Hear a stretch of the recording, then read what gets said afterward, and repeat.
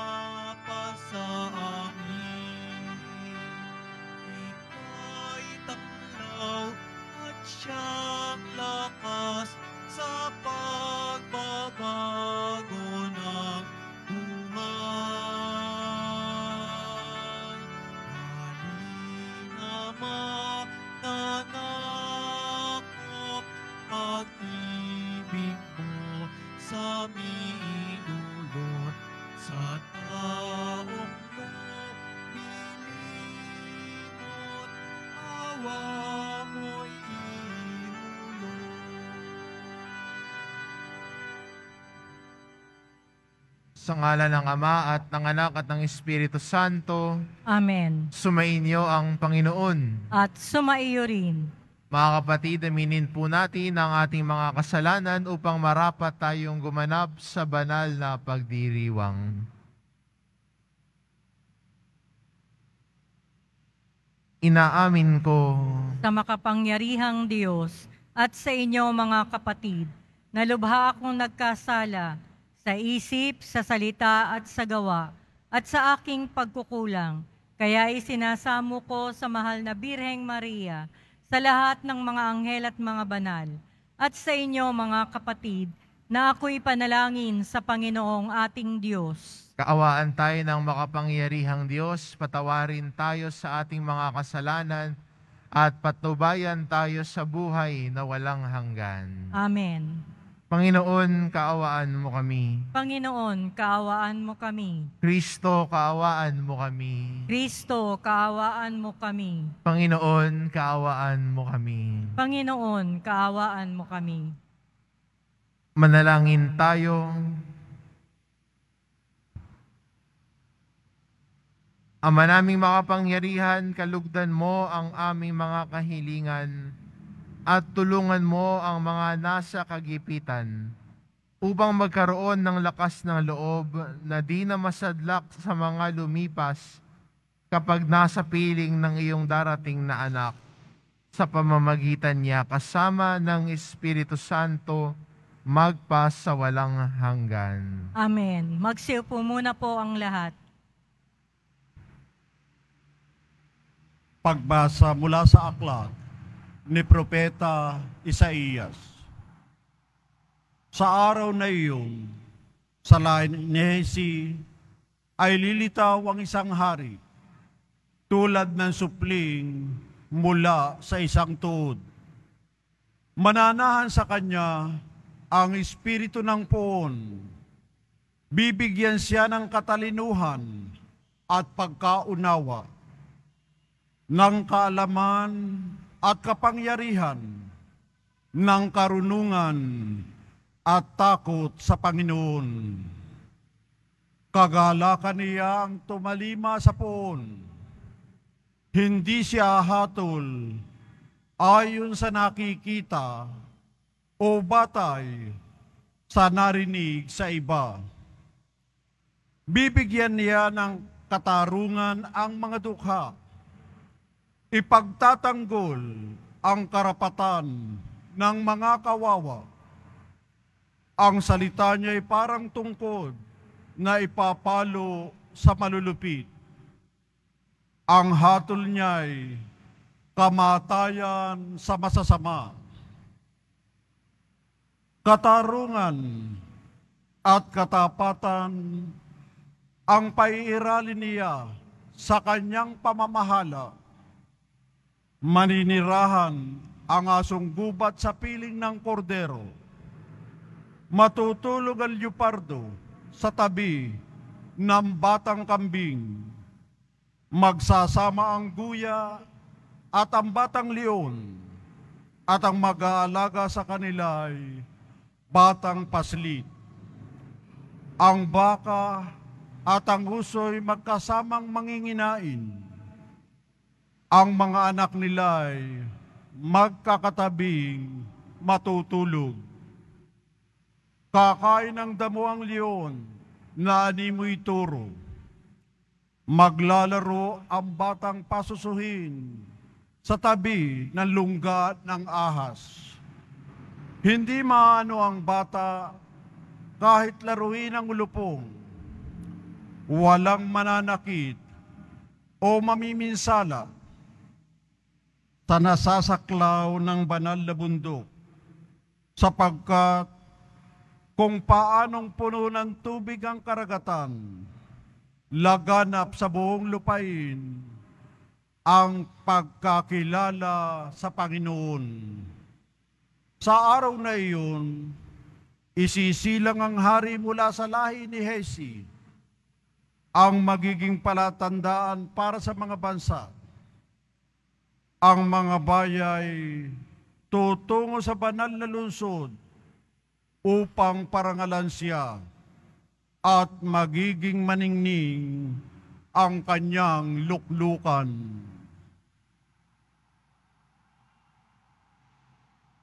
Ang salita ng Diyos. Salamat sa Diyos. Mabubuhay siyang marangal at sasagana kailanman. Mabubuhay siyang marangal at sasagana kailanman. Turuan mo, yaong haring humatol ng katwiran. Sa taglay mong katarungan, O Diyos, siya'y bahaginan. Upang siya'y maging tapat, mamahala sa iyong bayan. At pati sa mahihirap, maging tapat siyang tunay. Mabubuhay siyang marangal at sasagana kailanman. Yaong buhay na matuwid sa kanyang kapanahunan, madama ng bansa niya at umunlad habang buhay. Yaong kanyang kaharian ay palawak ng palawak mula sa ilog Euphrates sa daigdig ay kakalat. Mabubuhay siyang marangal at sasagana kailanman. Kanya namang ililigtas ang sinumang tumatawag, lalo yaong nalimot ng mga taong mahihirap. Sa ganitong mga tao'y siya'y lubhang nahabag. Sa kanila tumutulong upang sila ay maligtas. Mabubuhay siyang marangal at sasagana kailanman. Nawayaong kanyang ngalan ay wag nang malimutan. Manatiling laging bantog na katulad nitong araw. Nawa siya ipurihin ng lahat ng mga bansa at sa Diyos silang lahat. Dumalanging hari nawa, pagpalaing kaming lahat tulad niyang pinagpala. Mabubuhay siyang marangal at sasagana kailanman. Magsitayo na po ang lahat.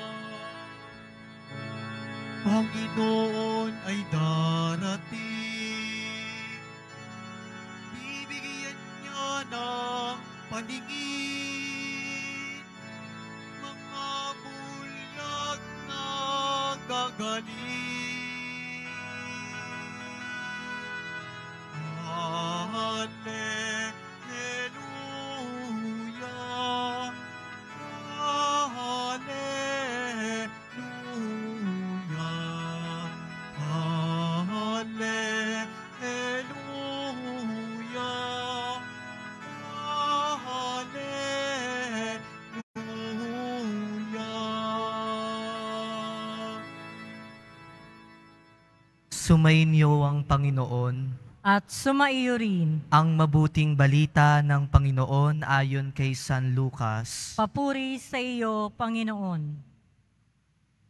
Nang oras ding iyon, si Jesus ay napuspos ng galak ng Espiritu Santo at sinabi niya, Pinasasalamatan kita, Ama, Panginoon ng langit at lupa, sapagkat inilihim mo sa marurunong at pantas ang mga bagay na ito at inihayag mo sa mga taong ang kaloob ay tulad ng sa bata.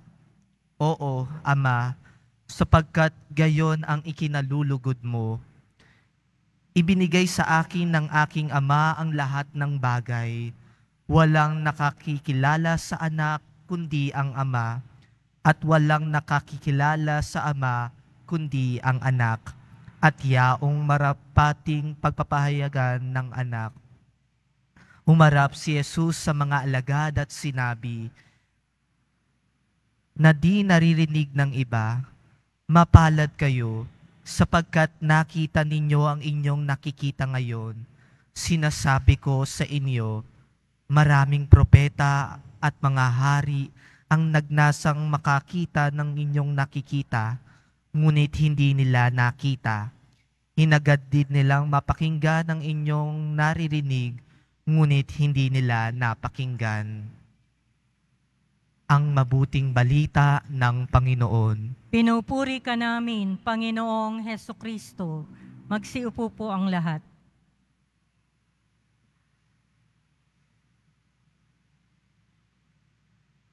Isang mapagpalang umaga po sa inyong lahat, mga kapatid ko kay Kristo. Tunay nga pong kay buti ng Diyos dahil muli na naman tayong pinagtipon-tipon upang maparangalan siya, mapasalamatan, at mapurihan siya sa misang ito.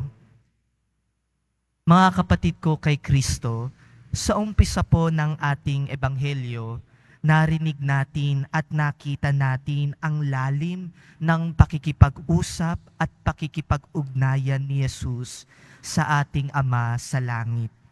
At ito ay nangyayari sa tuwing siya ay nananalangin. Kaya naman po sa pagninilay po natin sa umagang ito, ating bigyan ng pansin ang panalangin na mayroon tayo sa ating buhay. Sa buhay natin, madalas tayo ay nananalangin dahil may kanya-kanya tayong intensyon sa ating buhay. Nandyan yung gusto mo nang gumaling sa iyong sakit, gusto mong umayos yung problema mo sa iyong pamilya, gusto mong makapagbayad na sa iyong utang, gusto mong makapasa sa board exam, kung ano-ano pa. At may nananalangin din po sa atin dahil gustong magpasalamat sa Diyos. Maraming bumabalik po dito sa simbahang ito na may galak sa pasasalamat sa Diyos. At iyan din ang ipinakita ni Jesus sa Ebanghelyo. Noong siya ay napuspos ng kagalakan sa pamamagitan ng Espiritu Santo, nagpasalamat siya sa Ama dahil sa pagpapahayag nito ng misteryo ng kaharian ng Diyos sa mga walang muwang, sa mga taong may kababaang loob tulad ng mga bata. Itong pagpapasalamat po ni Jesus ay halimbawa sa kung paano rin tayo dapat manalangin.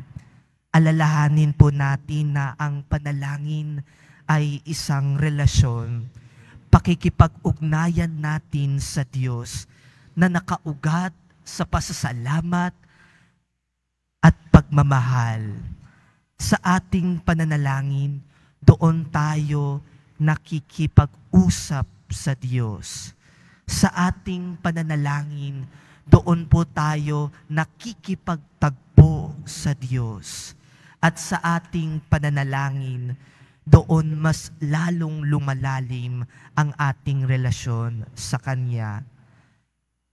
At kung marunong tayong magpasalamat sa Diyos, ibig sabihin lang po niyan ay nakikita natin ang kabutihan ng Diyos sa ating buhay. Kaya naman po mga kapatid, sa kabila man po ng ating mga pinagdaraanan sa buhay, gaano man kabigat ang krus na ating daladala, nawa ay matuto pa rin nating makita ang kabutihan ng Diyos. Naway makita pa rin natin ang mga biyayang patuloy na ipinagkakaloob ng Diyos sa atin at nawa ay hindi mawawala sa ating mga bibig ang salitang pasasalamat sa Diyos. Kaya naman po sa pagpapatuloy ng ating banal na misa, patuloy tayong manalangin at magpasalamat sa Diyos sa pagmamahal na ipinapadama niya sa atin. Amen. Magsitayo na po ang lahat. Minamahal kong mga kapatid, inihahayag ng Ama ang mga hiwaga ng kaharian sa mga maliliit. Manalangin tayo sa ating Diyos na nagpapahayag ng pag-ibig sa mga maliliit at mahihina. Ilapit natin ng may pagtitiwala sa pagmamahal na pagkalinga ng ating Ama sa langit ang lahat ng ating mga kahilingan. Ang ating itugon, Ama ng mga dukha, dinggin mo kami. Ama ng mga dukha, dinggin mo kami. ang mga naglilingkod sa simbahan bilang mga obispo, pari at laikong tagapaglingkod naway magpahayag ng kagandahang loob at pag-ibig sa Diyos, lalo na sa mga dukha. Manalangin tayo. Ama ng mga dukha, dinggin mo kami. Ang mga pinuno ng pamahalaan naway higit na pagtuunan ng pansin ang mga pangangailangan ng mga pinakaabang mamamayan. Manalangin tayo. Ama ng mga dukha, dinggin mo kami. Ang mga bata naway makilala ang Diyos sa pamamagitan ng ating mga pagtuturo at halimbawa, manalangin tayo. Ama ng mga dukha, dinggin mo kami. Ang mga may sakit naway makatagpo ng ginhawa at kagalingan sa pag-aaruga at pag-aalala ng mga nangangailangan sa kanila. Manalangin tayo. Ama ng mga dukha, dinggin mo kami. Ang mga namayapa na ay makaranas nawa ng walang katapusang kaligayahan sa kaharian ng Diyos. Manalangin tayo. Ama ng mga dukha, dinggin mo kami. Ama naming nasa langit, ipinangako ng iyong anak na pangihiwain niya kami kapag nahihirapan kami sa aming pasanin. Loobin mong lagi kaming makasunod sa kanyang pag-akay at palakasin kami upang maging mga kasangkapan ng kanyang kapayapaan. Hinihiling namin ito sa pamamagitan ni Kristong aming Panginoon. Amen. Magsiupo po ang lahat.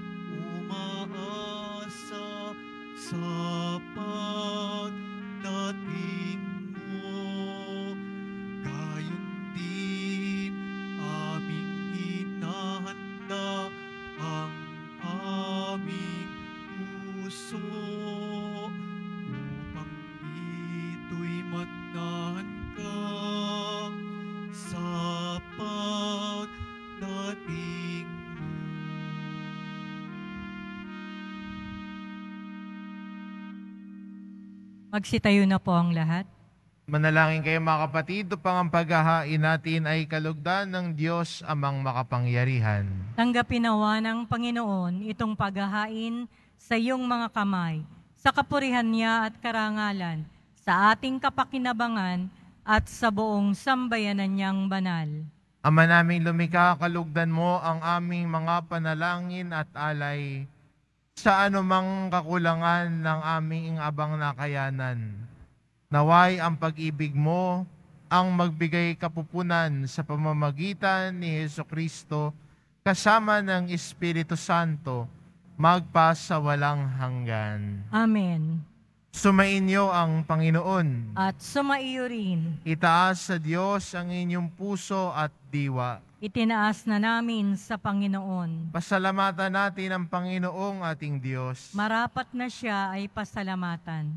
Ama naming makapangyarihan, tunay ngang marapat na ikaw ay aming pasalamatan sa pamamagitan ni Heso Kristo na aming Panginoon. Siya'y isinugo mo upang matupad ang iyong magandang balak para sa lahat. Hindi niya ikinahiyang mamuhay ng mahirap upang mapakisamahan niya kaming matapat. Siya'y naging hindi na iba sa amin upang maitampok niya kami sa iyong piling. Sa kanyang lantarang muling pagdating at pakikisama niya'y puspusang magniningning.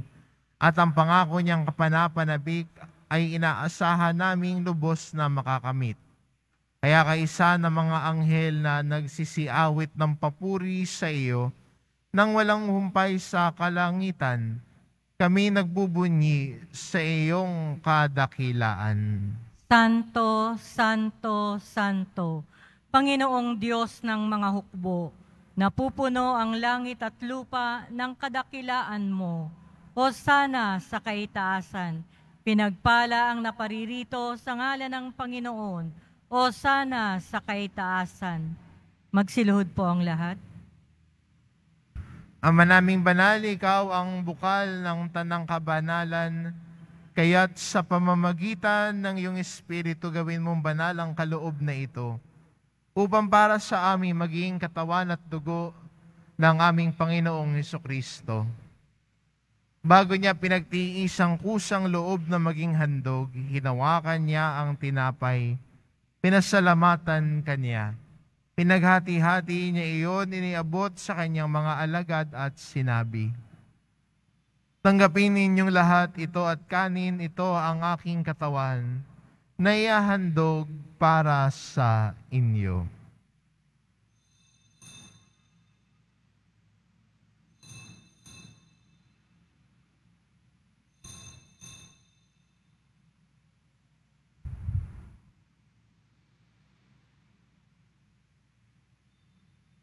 Gayon din naman na matapos ang hapunan, hinawakan niya ang kalis. Muli kanyang pinasalamatan. Iniabot niya ang kalis sa kanyang mga alagad at sinabi, Tanggapin ninyong lahat ito at inumin. Ito ang kalis ng aking dugo, ng bago at walang hanggang tipan. Ang aking dugo na ibubuhos para sa inyo at para sa lahat sa ikapagpapatawad ng mga kasalanan. Gawin inyo ito sa pag-alala sa akin.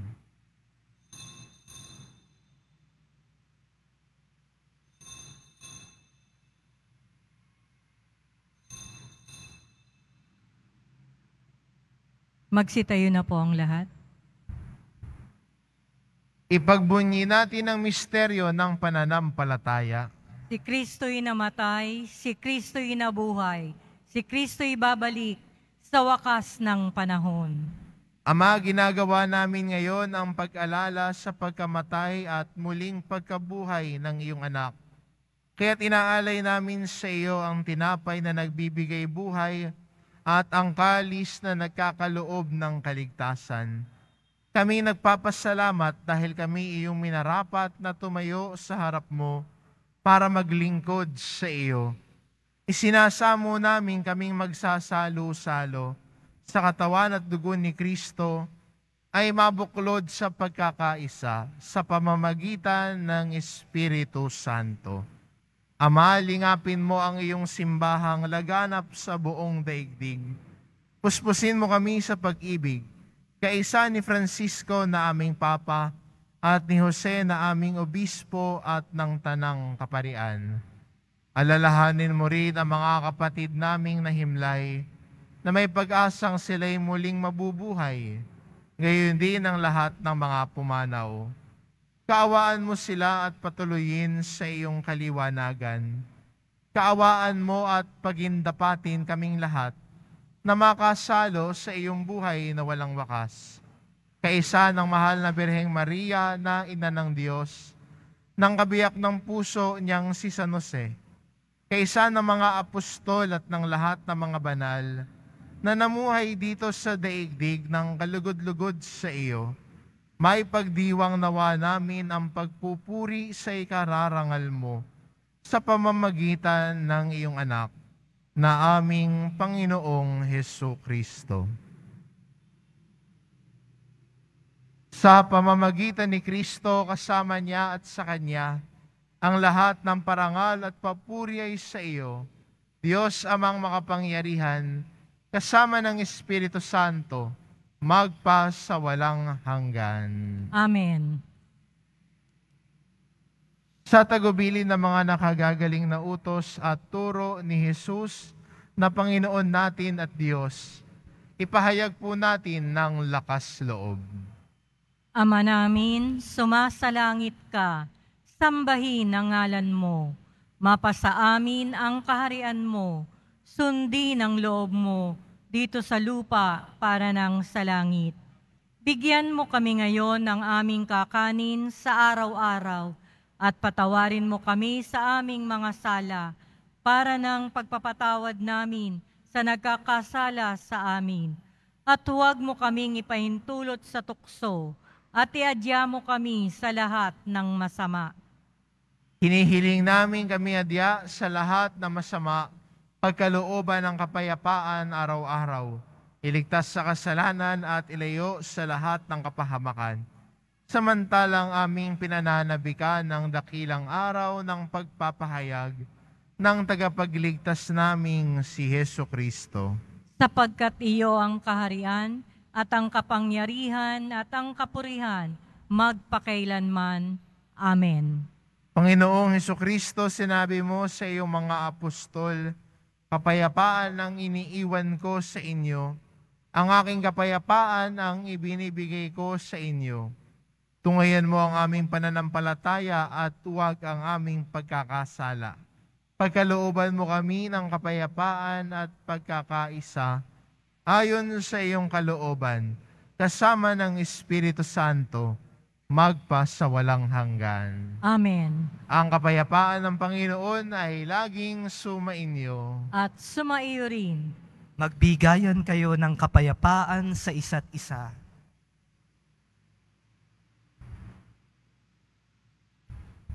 Kordero ng Diyos na nag-aalis ng mga kasalanan ng sanlibutan, maawa ka sa amin. Kordero ng Diyos na nag-aalis ng mga kasalanan ng sanlibutan, maawa ka sa amin. Kordero ng Diyos na nag-aalis ng mga kasalanan ng sanlibutan, ipagkaloob mo sa amin ang kapayapaan. Magsiluhod po ang lahat.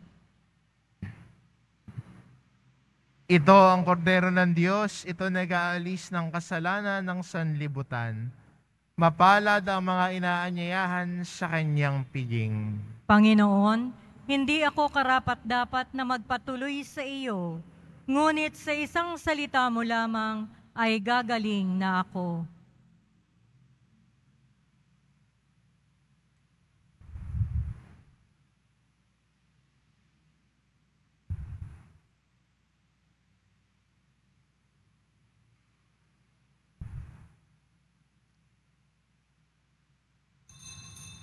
Para sa lahat ng tatanggap ng banal na komunyon, sasagot po tayo ng Amen pagkasabi ng pari o ng lay minister ng katawan ni Kristo at isubo agad sa bibig bago umalis sa harapan ng pari o lay minister.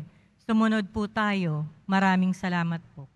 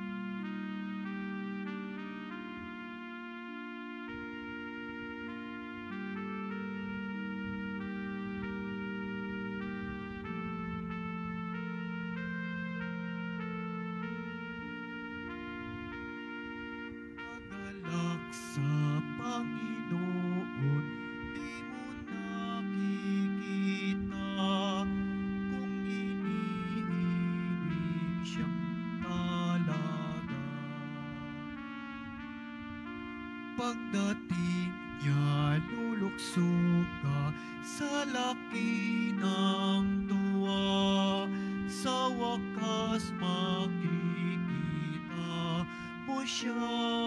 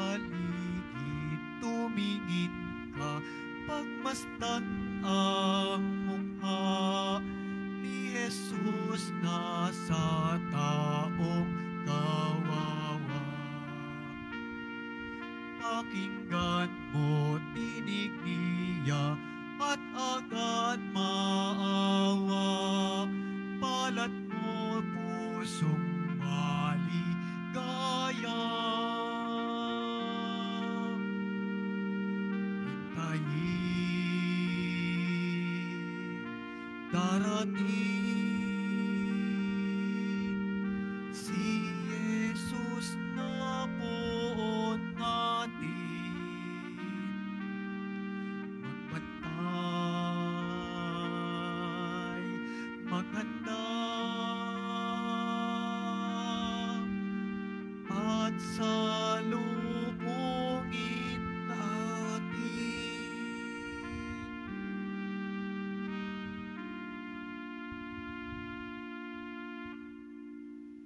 Announcement. Ang lahat po ay inaanyayahan, lalo na ang mga may sakit o may karamdaman, sa ating Healing Mass and Service sa darating na December 7, 2023, Huwebes sa ganap na ika-anim ng gabi. Makiisa po tayo. Available pa rin po ang ating official na kalendaryo 2024. Maaari kayong magtungo sa Finance Office. Ang oras ng Finance Office ay ang mga sumusunod. Lunes hanggang Webes at Sabado, alas 8 ng umaga hanggang alas 5 ng hapon. Biyernes at Linggo, alas 5 ng umaga hanggang alas 8 ng gabi. Meron po tayong mga booth sa malapit sa BPI Quezon Boulevard, entrance at Cardinal Sin Building. Pagkatapos ng misa, wiwisikan po ang lahat ng banal na tubig. Pinakikiusapan ng lahat na manatili lamang muna sa inyong mga lugar, tanging sa Quezon Boulevard o sa Plaza San Juan lamang ang labasan ng lahat. Sumunod po tayo. Maraming salamat po sa inyong pagdalaw at pagsisimba sa Basilica Minor at Pambansang Dambana ni Jesus Nazareno. Magsitayo na po ang lahat.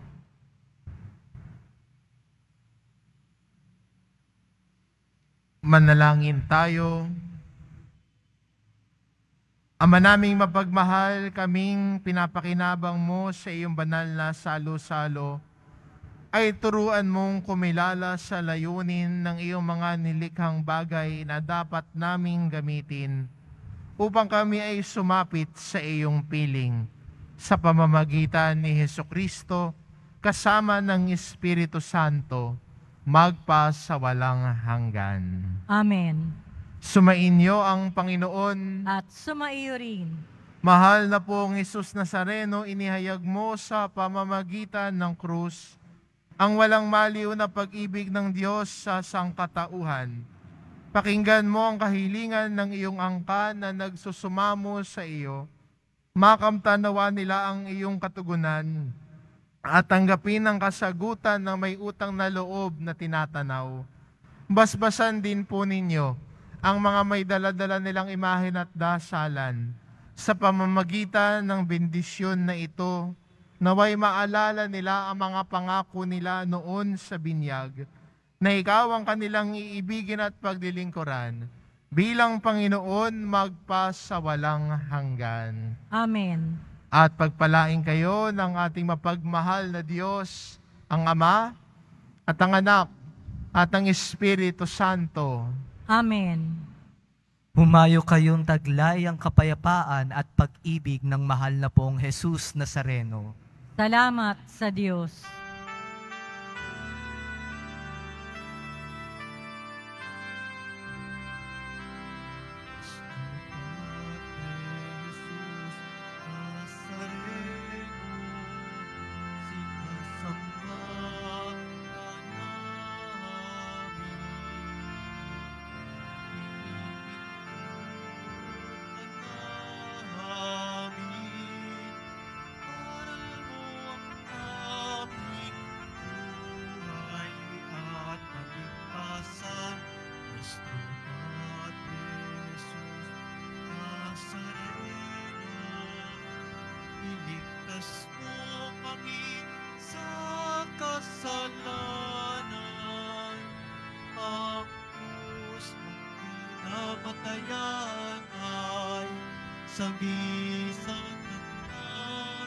Aming